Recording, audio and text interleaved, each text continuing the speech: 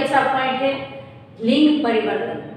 लिंग परिवर्तन के बारे में आप लोग को पता है, आप लोग गुजराती में पढ़ चुके हैं, जिसमें तीन लिंग आते हैं, स्त्रीलिंग पुल्लिंग और नपुंसकलिंग। लेकिन हिंदी में केवल दो ही लिंग आते हैं पुल्लिंग और स्त्रीलिंग। तो जिसके बारे में आज हमें अभ्यास करना है, यहाँ पे देखते हैं, लिंग परिवर्तन यहाँ पे दिखा है। मैंने दुनिया के सारे प्राणियों को इन दो वर्गों में बांटा है दुनिया के सारे प्राणी इसमें दो ही वर्ग है, पुरुष वर्ग और स्त्री वर्ग। इसमें यहाँ पे लिखा है, सारे प्राणी तो आपको ऐसा होता तो मनुष्य तो आपको पता है, मनुष्य भी एक प्राणी ही है। तो इस तरह यहाँ पे मैंने उदाहरण के तौर पे लिखा है। दो अलग अलग उदाहरण दिए गए हैं, इसमें स्त्री वर्ग और पुरुष वर्ग को अलग लिखा है। यहाँ पे मैंने लिखा है नर तो नर शब्द हो, है, वे पुलिंग है।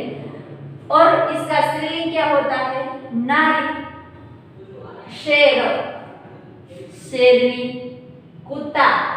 तो वहाँ होता है कुतिया कुत्ती हमेशा नहीं बोल सकते।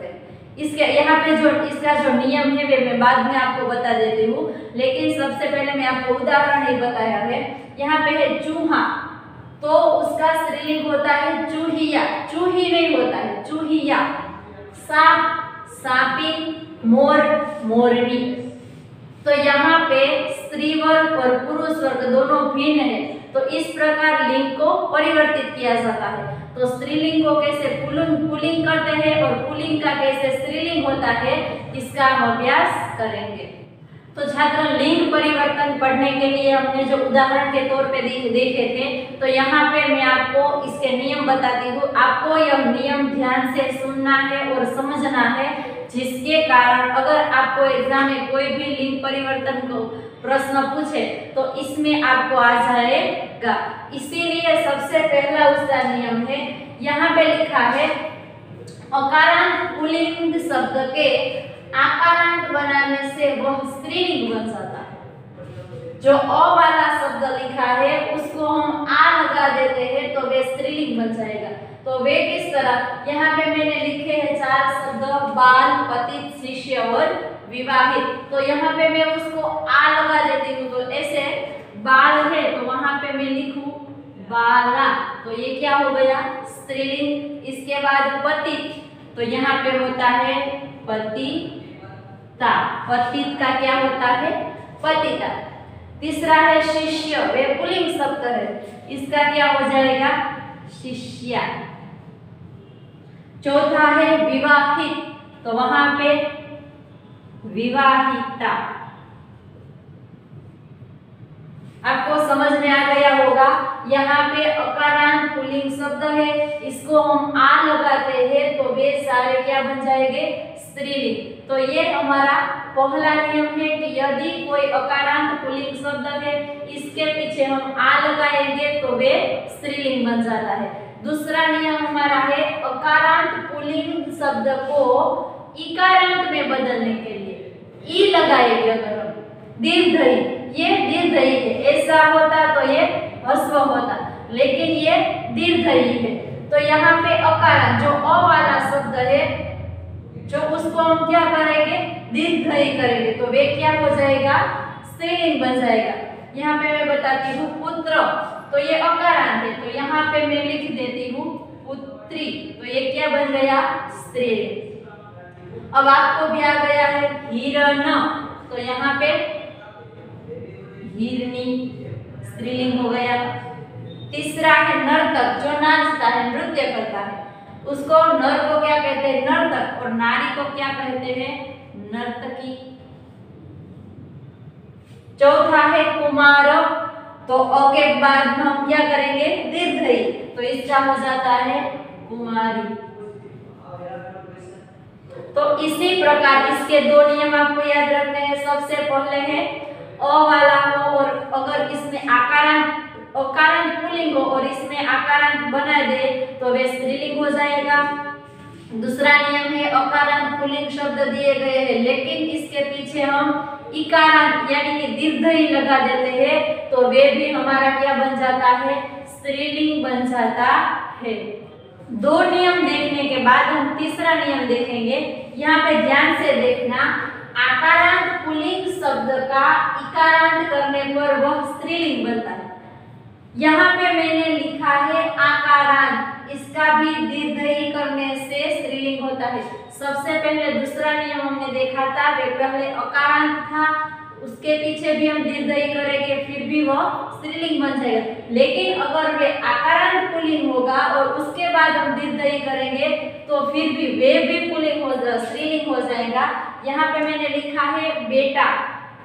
यहाँ पे आ प्रत्यय है ना पुलिंग में, बेटा। तो इसका हम स्त्रीलिंग कहते हैं दीर्घ इकारांत होता है तो वे बन जाएगा बेटी। उसके बाद मामा तो ये भी आकारांत है तो क्या बन जाएगा? मामी। तीसरा है दादा तो दादा आकारांत है। यहाँ पे ई लिखेंगे हम इसके पीछे तो दादी बन जाएगा और नाना तो उसी की तरफ़ क्या बन जाएगा? नानी। तो यहाँ पे आपको ध्यान से यही देखना है, अगर अकारांत हो पुल्लिंग और इसके पीछे दीर्घ आए तो वे भी स्त्रीलिंग हो जाएगा। और आकारांत पुल्लिंग हो और इसके पीछे भी दीर्घ आए तो वे भी स्त्रीलिंग ही बनता है। चौथा नियम है इसका, प्राणीवाचक पुलिंग संज्ञाओं के अंत में नी जोड़ने से याद है यह शब्द नी प्रत्यय जोड़ने से वे स्त्रीलिंग बन जाता है। प्राणीवाचक शब्द और क्या होता है? पुल्लिंग। और इसके पीछे क्या लिखना है? नी अगर हम लिख दे तो वे क्या बन जाएगा? स्त्रीलिंग बन जाएगा। तो हम देखते हैं, यहाँ पे मैंने लिखा है मोर। तो इसके पीछे नी लिखते हैं। मोरनी हो गया स्त्रीलिंग। बाद में है शेर। तो शेर के लिए लिखते हैं। शेरनी और तीसरा है ऊँट। तो यहाँ पे क्या हो जाएगा इसका? ऊंटनी। तो इसी प्रकार स्त्रीलिंग और पुल्लिंग के नियम दिए गए हैं। इसके आगे का नियम है, कुछ आकारांत शब्दों में आनी प्रत्यय जोड़ने से वे स्त्रीलिंग हो जाता है। कुछ आकारांत शब्दों पुल्लिंग है उसको क्या लगाते हैं हम? आनी प्रत्यय लगाते हैं तो वे स्त्रीलिंग हो जाएगा। हम देखते हैं यहाँ पे हमने लिखा है नौकर। तो पीछे, लास्ट का जो अक्षर है, उसके पीछे हम आने लिखते हैं। तो यहाँ पे क्या हो जाएगा? नौकरानी। समझ में आया? यहाँ पे है देवर, जो पुलिंग है, और इसके पीछे हम आने लिखते हैं तो देवरानी। वे भी स्त्रीलिंग हो गया। शेठ शेठानी उसके बाद जेठ तो वहाँ पे क्या हो जाएगा? जेठानी। तो उसी प्रकार कुछ आकारांत शब्दों के पीछे आनी प्रत्यय लगाने से वे स्त्रीलिंग हो जाता है। उसके बाद का जो नियम है, कुछ अकारांत पुल्लिंग शब्दों को ईका प्रत्यय लगाते हैं। यह हस्व ई है, ईका प्रत्यय लगाने से वे स्त्रीलिंग बनता है। यहाँ पे मैंने लिखा है शिक्षक। तो ई का कैसे लिखते हैं? इसी प्रकार। शिक्षिका। तो यहाँ पे इसके पीछे क्या आया? ई का बालक। तो आपको पता चल गया, इसमें क्या लिखने हैं मुझे? बालिका। नायक। तो यहाँ पे ई का लिखाते लगाते हैं तो क्या हो जाएगा?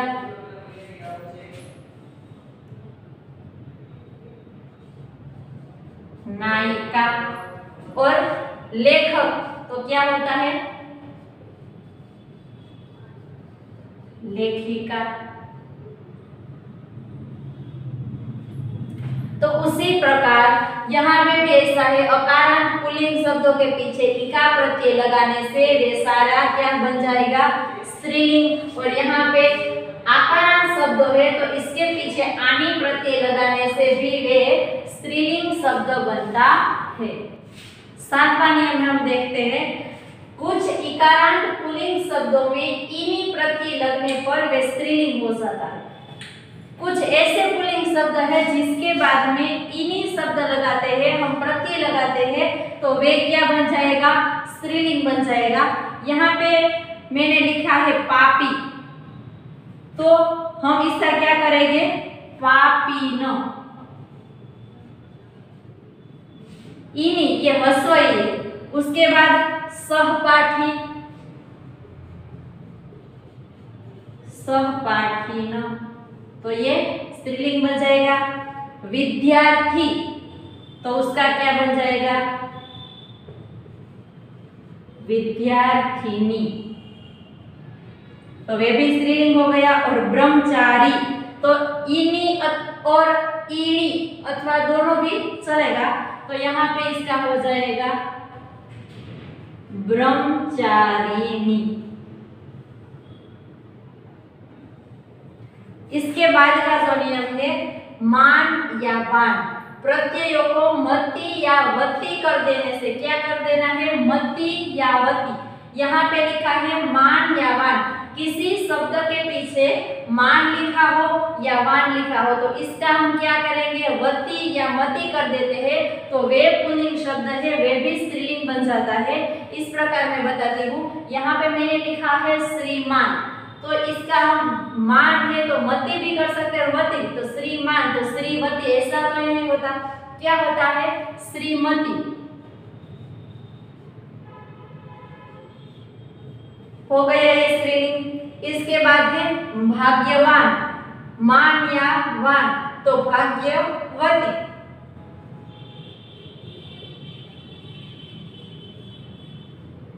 इसके बाद है रूपवान तो रूपवती। लास्ट में है गुणवान तो इसी प्रकार रूपवान का रूपवती होता है, उसी प्रकार गुणवान का गुणवती हो जाएगा। तो यहाँ पे दो नियम मैंने बताए बाद में, जो इकारांत पुल्लिंग शब्द है, इसमें इन्हीं प्रत्यय लगते हैं। तो पापी है तो ये हस्व हो जाएगा, पापी न सहपाठी का सहपाठी उसी प्रकार कोई शब्द लिखा है, शब्द के पीछे मान या वान प्रत्यय लिखा हो, और इसके पीछे हम क्या लिखेंगे? मती या वती कर देते हैं तो वे भी स्त्रीलिंग बन जाएगा। यहाँ पे है भाग्यवान तो वान का हमने क्या कर दिया? वती तो क्या हो गया? भाग्यवती और यहाँ पे है रूपवान तो वान का हमने कर दिया वती तो रूपवती और यहाँ पे मान लिखा है तो मान का कर दिया मती तो श्रीमान तो इसका स्त्रीलिंग होता है श्रीमती। इसके का आगे का नियम जो है, नौवा नियम। कुछ पुलिंग शब्दों में आई प्रति जोड़ने पर वे स्त्रीलिंग बनता है। यहाँ पे लिखा है, कुछ ऐसे पुलिंग शब्द है तो जिसके पीछे हम आई लगा देते हैं तो वे स्त्रीलिंग बन जाएगा। तो सबसे पहले मैंने लिखा है पंडित। तो ये पुलिंग शब्द है, पंडित। तो हम इसको क्या लगाना है? आई न तो यहाँ पे मैं लिखती हूँ पंडिताई तो ये स्त्रीलिंग बन गया। यहाँ पे है गुरु। तो उसका क्या होता है? गुरु आई लास्ट है ठाकुर। तो इसमें ठाकुराई नहीं लिखना है, ठकुराई लिखना है, ये याद रखना है आपको।